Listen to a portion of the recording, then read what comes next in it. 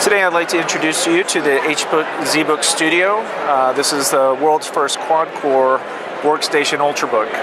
What we have here is a 15-inch product, 18 millimeters thin, and only weighs 4.4 pounds.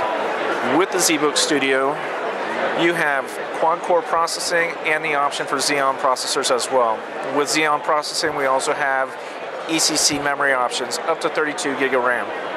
You can also configure this up with two terabytes of storage, and we also have panel resolutions all the way from FHD to UHD featuring Dreamcolor.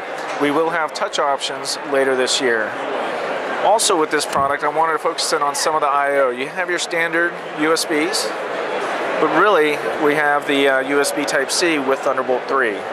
With this, you have PCI output, USB 3.1 support, and also DisplayPort support.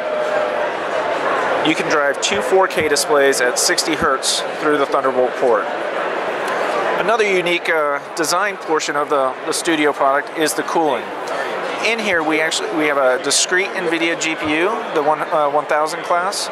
So in order to make sure that this runs without overheating, we have multiple fans, an intake, and the heat is dispersed out the hinge.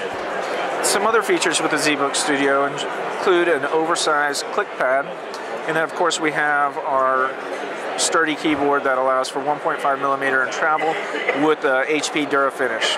HP DuraFinish just means we put an extra coating to make sure that keys won't show wear and tear over a long period of time. Extra durability. Another feature that we like to point out is that we put the ZBook Studio through 15 mil spec uh, tests, so it is military grade if necessary. Business rugged is what we, what we like to call it. Today, world's first quad-core workstation Ultrabook, ZBook Studio.